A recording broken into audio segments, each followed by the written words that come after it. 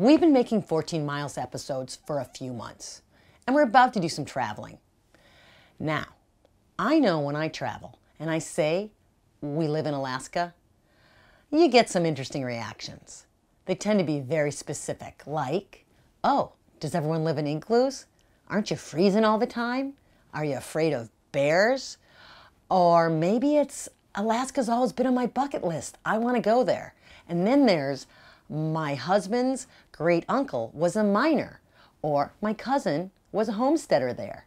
Nevertheless, or regardless, it's time to get you involved in the 14 Miles episode making adventure. So we want to collect some stories. We want to hear from you.